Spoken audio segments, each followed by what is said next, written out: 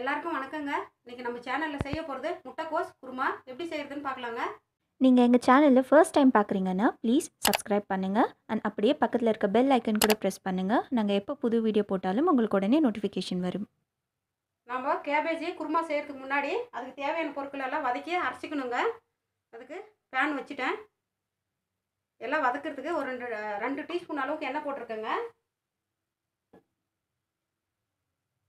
வெங்காயம் சேர்த்துக்கலாங்க வதக்கிறதுக்கு. ஒரு பெரிய சைஸ் வெங்காயம் சேர்த்துக்கிறேன் நான். ஒரு பதினஞ்சு பல்லு பூண்டுங்க. இஞ்சி ஒரு பீஸுங்க ஒரு பெரிய துண்டு. எல்லாம் சேர்த்து கொஞ்ச நேரம் எண்ணெயில் வதக்கலாங்க. இது ஒரு கொஞ்ச நேரம் எண்ணெயில் வதக்கட்டும்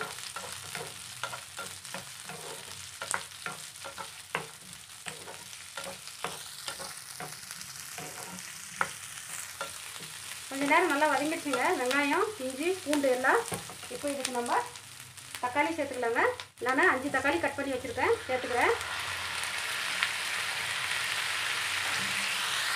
சேர்த்துட்டு நல்லா வதக்கலாங்க. நல்லா வெஜ்ஜி மாதிரி வர அளவுக்கு நம்ம வதக்கலாம். டொமேட்டோ சேர்த்து நல்லா வதக்காச்சுங்க தக்காளி பாருங்கள் நல்லா வதங்கி இந்த மாதிரி வந்திருக்குது. இப்போ இதுக்கு நம்ம ஜீரகத்தூள் ஒரு டீஸ்பூன் சாம்பார் பொடி ஒன்றரை டீஸ்பூன் தனியா பொடி ஒன்றரை டீஸ்பூன் மஞ்சப்பொடி அரை டீஸ்பூன். இதெல்லாம் சேர்த்து ஒரு பச்சை வாசனை கொஞ்சம் போகிற அளவுக்கு வதக்கலாங்க.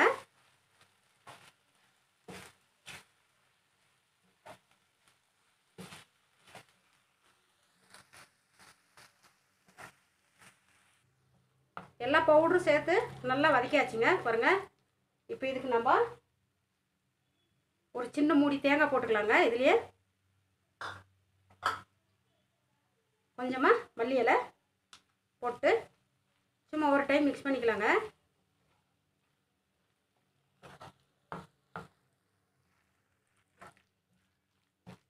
இது ரெடி ஆயிடுச்சுங்க மசாலா. நம்ம இதுப்பா அரைச்சிட்டு எடுத்துக்கலாம் பேஸ்ட் மாதிரி. இது ஆறுறதுக்குள்ளே ஒரு அஞ்சு நிமிஷம் ஆறட்டுங்க. நம்ம மிக்சியில் போடுறதுக்குள்ளே அதுக்குள்ளே நம்ம கேபேஜி தாளிச்சு விட்றலாங்க நான் கேபேஜ் குருமா செய்கிறதுக்காக பாண்டிலி வச்சுட்டேங்க. காஞ்சிடுச்சு. நம்ம கேபேஜி தாளிச்சு விட்றலாம் அது எண்ணெயில் நல்லா வேக வச்சுக்கணுங்க. கேபேஜி நல்லா டேஸ்ட்டும் இருக்கும் நல்லாவும் இருக்கும். அஞ்சு டீஸ்பூன் அளவுக்கு எண்ணெய் போட்டிருக்கோங்க. எண்ணெய் கொஞ்சம் நேரம் காயிட்டோம். எண்ணெய் காஞ்சிருச்சுங்க. தாளிக்கிறதுக்கு சோம்பு சேர்த்துக்கலாம். நாலு லவங்கம் பட்டை ஒரு சின்ன துண்டு. இதனால பொறிஞ்சு வரட்டுங்க.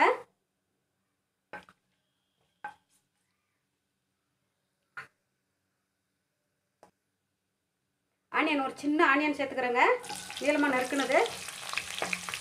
இது எண்ணெயில் கொஞ்ச நேரம் நல்லா வதங்கட்டும்.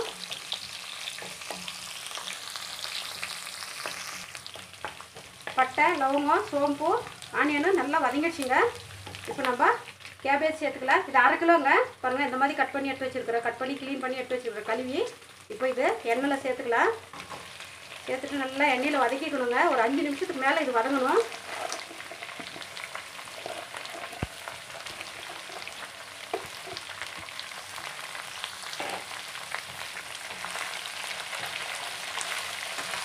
இது கூட நான் பட்டாணி ஒரு நூறு கிராமு. நல்லா கொல கொலன்னு வேக வச்சு எடுத்து வச்சுருக்குறேங்க. காஞ்ச பட்டாணி நாலு மணி நேரம் ஊற வச்சு நாலு விசில் விட்டு எடுத்து வச்சுருக்குறேங்க. நீங்கள் வேணும்னா பட்டாணி சேர்த்துக்கோங்க. பட்டாணி சேர்த்துனீங்கன்னா ரொம்ப டேஸ்ட்டாக இருக்குங்க. லாஸ்ட்டில் பட்டாணி சேர்க்க போகிறோம் நம்ம. கொழம்பெல்லாம் எல்லாம் தாளிச்சு விட்டு எல்லாம் கொதி வந்ததுக்கப்புறம்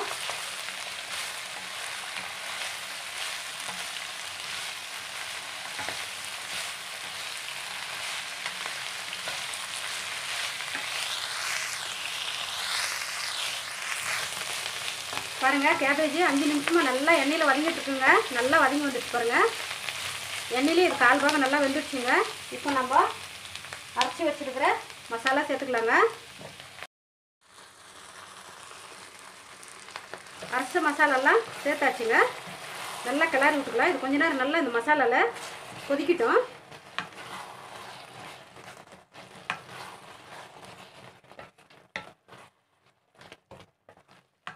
இப்போ நம்ம இதுக்கு தேவையான உப்பு சேர்த்துடலாங்க. குருமாவுக்கு தேவையான உப்பு சேர்த்துக்கலாங்க. சேர்த்துட்டு நல்லா ஒரு கொஞ்ச நேரம் நல்லா கிளறி விட்டுறலாங்க. உப்பு சேர்த்ததுக்கப்புறம் ஒரு கொஞ்ச நேரம் கொதிக்கிட்டோம். ஒரு நிமிஷம் நல்லா இதில் கொதி வந்தால் போதுங்க இந்த கேபேஜு.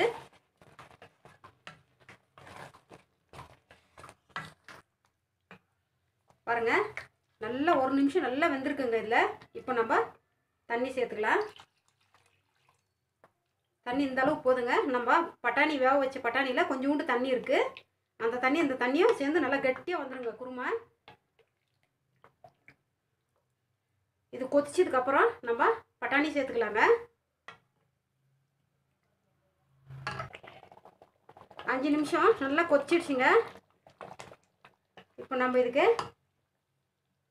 வேச்சி எடுத்து வச்சிருக்கிற பட்டாணி ஊற்றிடலாங்க பாருங்கள் நல்லா கொல கொலன்னு வந்து வந்திருக்குங்க. இந்த அளவுக்கு வேச்சிக்கோங்க. இது நூறு கிராம் பட்டாணிங்க நாலு மணி நேரம் ஊற வச்சு நாலு விசில் விட்ருக்குறோங்க நல்லா வெந்து வந்திருக்கு. இப்போ இதில் சேர்த்துக்கலாங்க இது. நல்லா டேஸ்ட் நல்லா இருக்குங்க குழம்பு சாப்பிட்றதுக்கு நம்மளுக்கு. அதுக்கு தான் பட்டாணி சேர்த்து செய்கிறது நீங்கள் வேண்டான்னா அப்படியே சே தாளிச்சிக்கோங்க. இப்போ இது குழம்பு ஆகிறதுக்கு ஒரு ஆறுலேருந்து ஏழு நிமிஷம் அவ்வளோதாங்க. பட்டாணி சேர்த்ததுக்கப்புறம் அடி பிடிக்கும். பட்டாணி நல்லா கொல கொலன்னு வந்துட்டு இருக்கிறதால அப்பப்போ பார்த்து கிளாரி விட்டுக்கோங்க. ஒரு ஆறு நிமிஷம் கொதிச்சா போதுங்க இப்போ இது.